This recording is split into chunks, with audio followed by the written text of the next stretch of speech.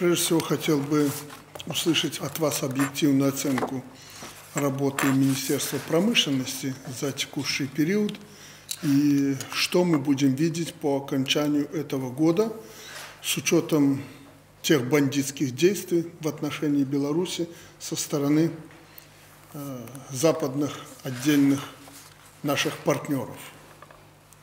Э, меня интересует э, не только производство, естественно, экспорт – это валюта, э, складские запасы, но прежде всего финансы.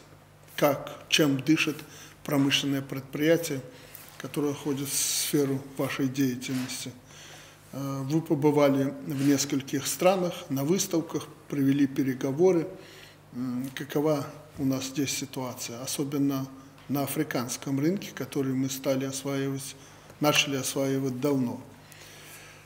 С Путиным мы договаривались о том, что нам крайне необходимо развивать предприятия микроэлектроники.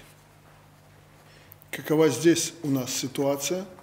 Слава Богу, мы сохранили эти предприятия, но, естественно, нам следует в этом отношении более интенсивно развиваться, добавлять для того, чтобы выйти на конкурентный уровень э, с теми, кто сегодня в мире музыку заказывает.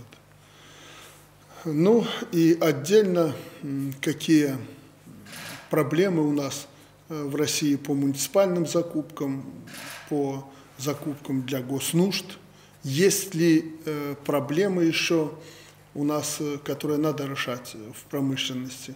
Ну и как себя ведут российские наши коллеги после наших договоренностей и на уровне президента, и правительства. Вот комплекс вопросов, может у вас еще дополнительно будут какие-то вопросы, но хочу сказать, что мы просто не имеем права падать. Надо удержаться на этом уровне, чего бы нам не стоило. Я знаю, вы в правительстве приняли ряд решений по минимизации воздействия на экономику санкций Запада. Но посмотрите на своих сотрудников на предприятиях.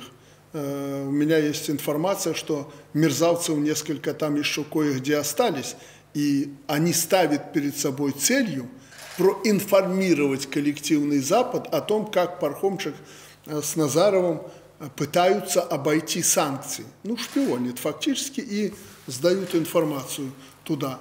Э, нескольких мы выявили, сядут и надолго, это я прямо говорю, но, тем не менее, мы их должны видеть.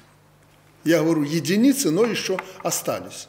И это не просто люди, которые высказывают свою гражданскую позицию. Это люди, которые осознанно за деньги спецслужб Запада вредят нашей экономике, а равно нашему государству. На это обратите особое внимание.